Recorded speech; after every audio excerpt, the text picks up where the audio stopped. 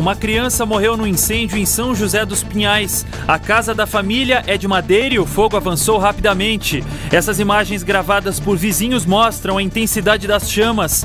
Emily de Andrade Nol, de apenas 4 anos, não conseguiu sair do quarto onde estava. A irmã dela, uma adolescente de 15 anos, foi resgatada pelos bombeiros com queimaduras. Os vizinhos tentaram conter o fogo e ajudar as irmãs. Tinha só um comecinho de fogo. Quando nós saímos para fora, eu e minha mulher, tinha os dois vizinhos daqui, já correndo lá para dentro. E daí aquele foguinho se fez assim, ó. Pof. Foi em 15 minutos, não tinha mais nada.